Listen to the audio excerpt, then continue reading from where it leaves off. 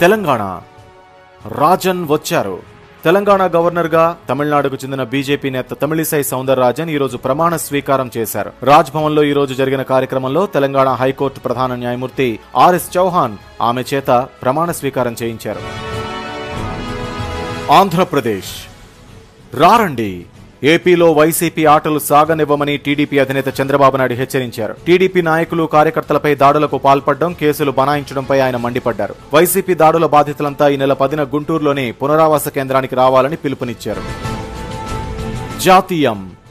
దొరికిందోచ్ భారత అంతరిక్ష పరిశోధన సంస్థ ISRO chairman doctor K Sivan కీలక ప్రకటన చేశారు. చంద్రయాన్ టూలో భాగంగా చంద్రుడిపైకి ప్రయోగించిన ల్యాండర్ విక్రమ్ ఎక్కడుందో తాము కనుగొన్నామని శివన్ తెలిపారు. ఇక లేరు.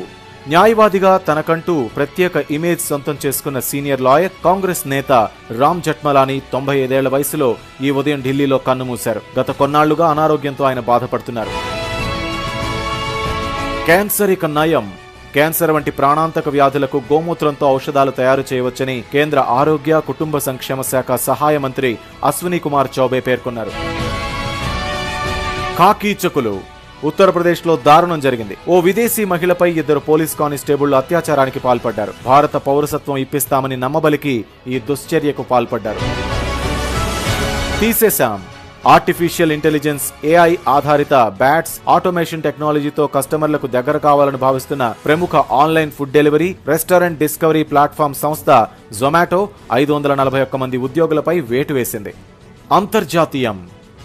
రద్దు చేసేసా అగ్రరాజ్యం అమెరికా అధ్యక్షుడు డొనాల్డ్ ట్రంప్ సంచలన నిర్ణయం తీసుకున్నారు. ఆఫ్ఘనిస్తాన్లో ప్రభుత్వానికి పక్కలో బల్లెంలా తయారైన తాలిబాన్ ఉగ్ర సంస్థతో శాంతి చర్చలను రద్దు చేసుకుంటున్నట్లు ప్రకటించారు.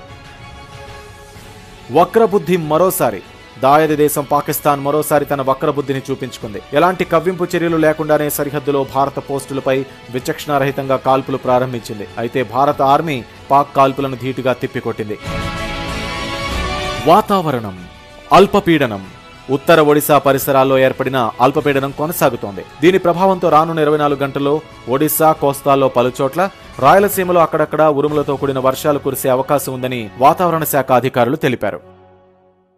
విద్యతో విజ్ఞానం పెంచుకోండి. ఆ జ్ఞానంతో అనంతమైన అవకాశాలను అందిపుచ్చుకోండి. ఇందుకోసం మన లోకల్ యాప్లో ప్రతిరోజు ప్రసారమయ్యే విద్యా ఉద్యోగ సమాచారాన్ని ఫాలో అవ్వండి.